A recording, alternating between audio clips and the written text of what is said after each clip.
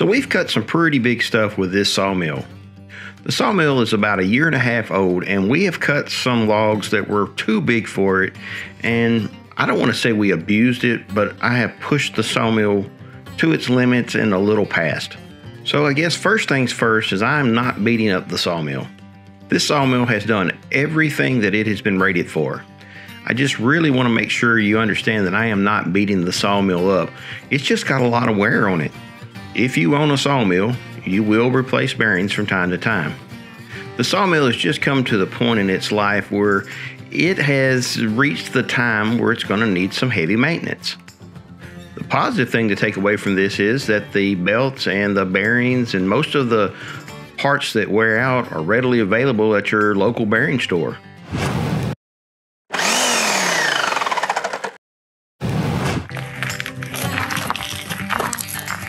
Demo puppy. Like this chicken. Yummy. The only reason you came there, the chicken. You'll come for another, another reason I love chicken. He'll be, as soon as chicken, he'll be ready to get back the truck and go home. The chicken's in it.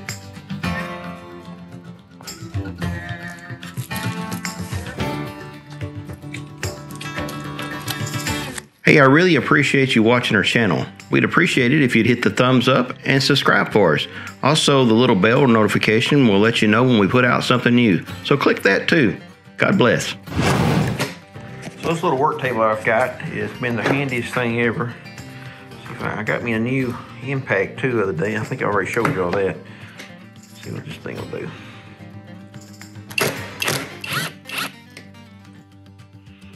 At least I've got a documentation of how this all goes back together. It's got a couple of shims right there that go on first.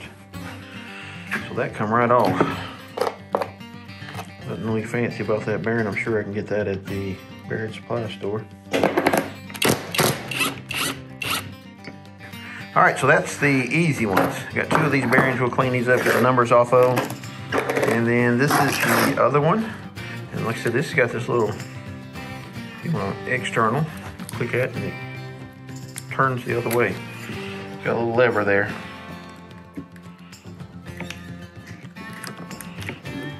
Wish Tanja was here to film this, but we gotta come right out. How about that?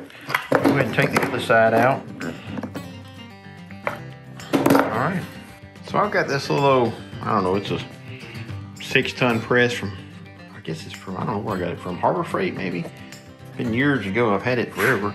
But it's handy to have around for this little old stuff like this right here. Definitely got some noise in it, for sure. Rough.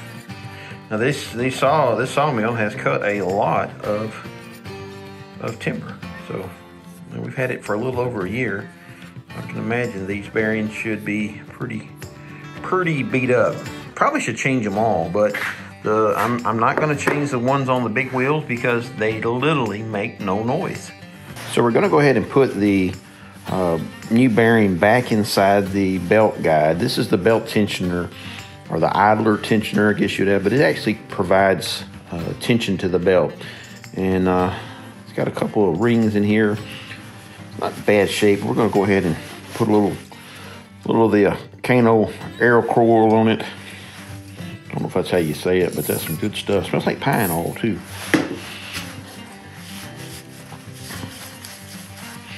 All right, so that is that. So these uh, those new uh, pliers I got, you uh, you can they become inner or outer just by changing that little switch. That's the neatest thing I've ever seen. So we're gonna go ahead and put one clip ring in on the one side and then we'll push the bearing through from the other side till it touches the clip ring.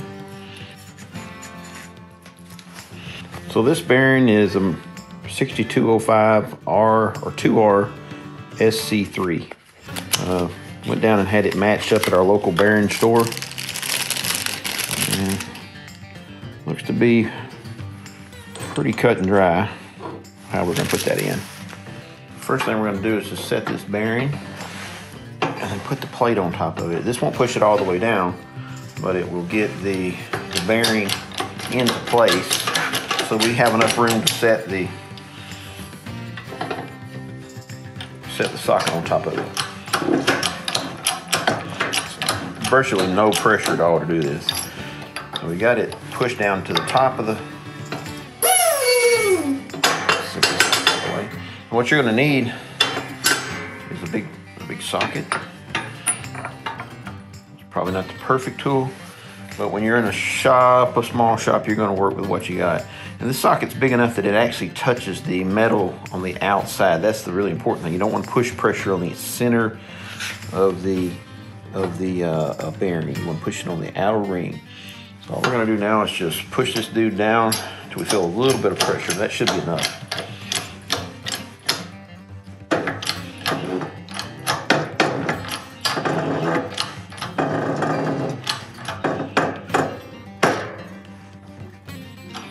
Feel pretty good about it.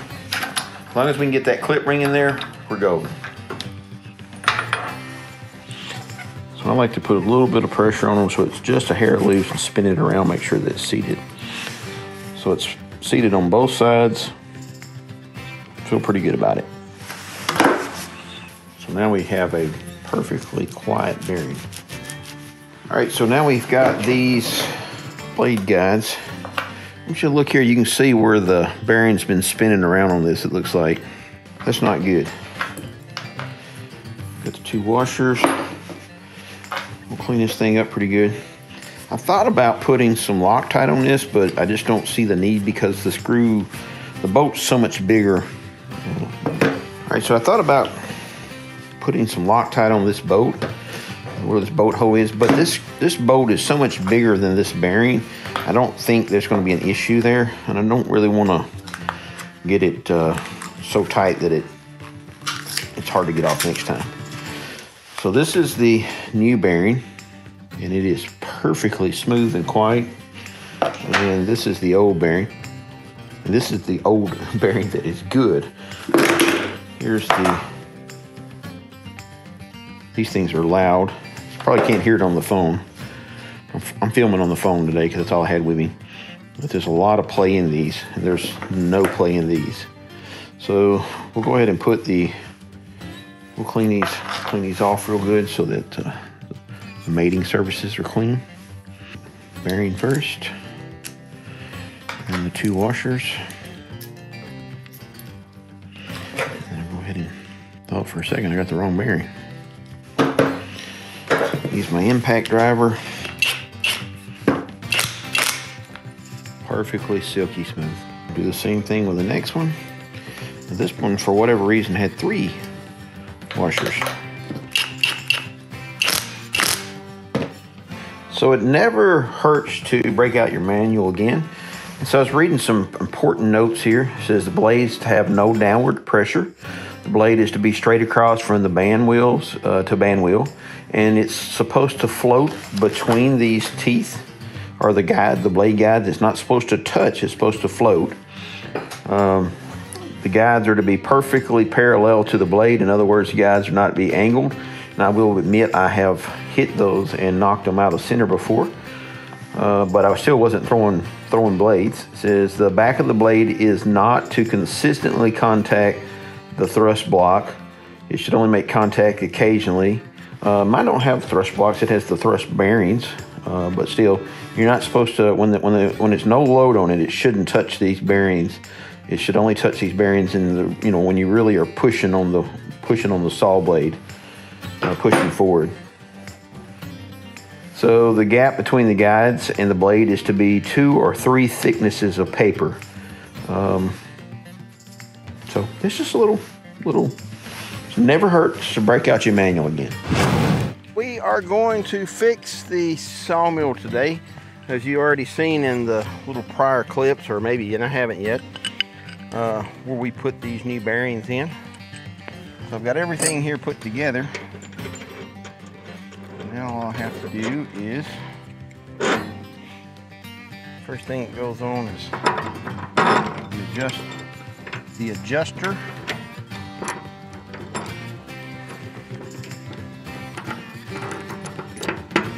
Spacer and a washer. Got the pulley with the spacer, the adapter in the middle. This. Again, we're going to tighten this up tight enough that it'll still slide up and down, but not so tight that it's gonna get in the way or hinder the movement of it. This got to go up and down on this.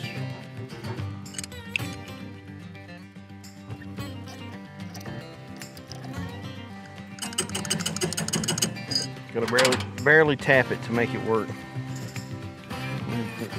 This here.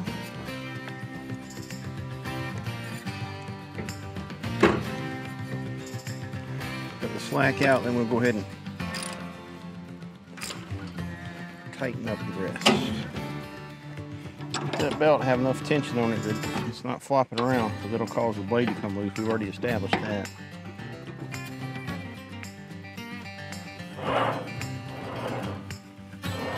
All right, I feel pretty good about that part. Now I just gotta put this all together. All right, so now the next thing I'm gonna do is go ahead and put my blade guides back on. These got brand new idlers. So this, I really wished I had a paid attention to which one came from where. I don't see that that's a big, a big deal. They're exactly the same in every way, uh, but I, I don't know. So we'll go ahead and hope for the best. Gonna do is just put those all the way back. This is actually the right ones because this one over here was a little difficult to get on. Looks pretty good. So I've got five brand new blades. I mean, these dudes are sharp and brand new, never even been out of the box. So we're gonna go ahead and take them out. Try to do it without cutting my hands off. First thing I'm gonna do is grab my big heavy gloves. Because these boogers will bite you.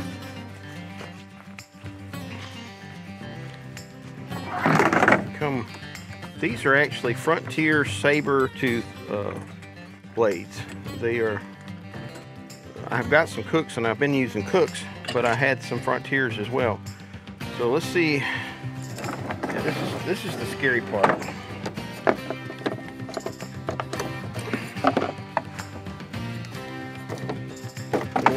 Go ahead and set this over here so I don't take the paint off the truck. So Gizmo was worried I was gonna take the paint off of Gizmo.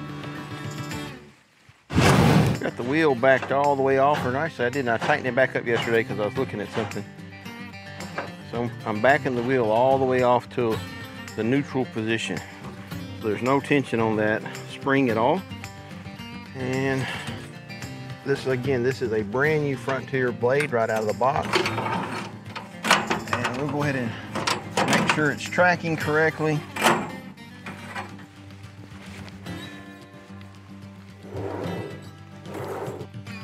So what I want to do now is just pull this blade guide out.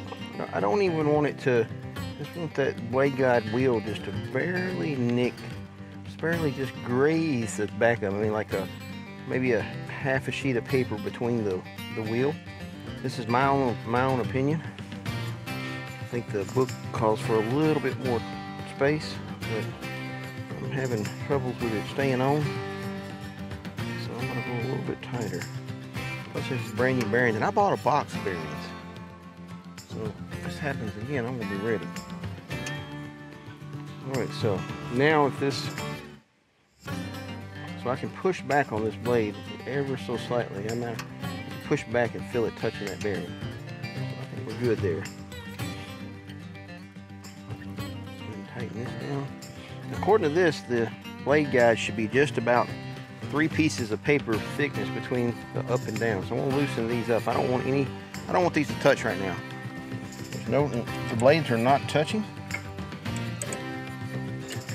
Just to be sure, we'll rotate one full cycle. All right, I feel pretty good about that. We're gonna test this dude out. We got the saw blade put back on it, bearings put back on it. Listen, I think I got high hopes. We run the we run it pretty hard, so let's check the oil. We just changed oil in it probably about an hour ago. Perfect clean, completely full.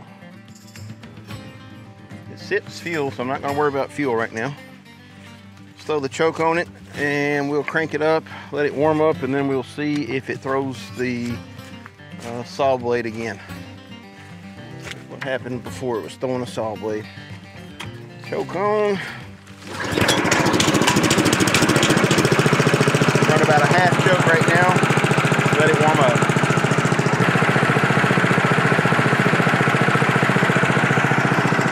Moment of truth. Let's see if it spins off.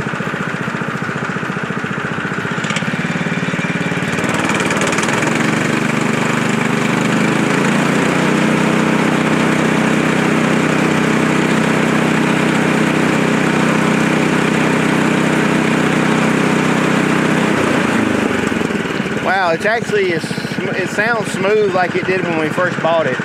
So this sawmill has sawed a lot of logs up and I sawed some oversized stuff that was too big for it. So uh, I have actually probably, you know, you might even say that I abused this sawmill a little bit. I am leaking a lot of fluid back here on the backside though.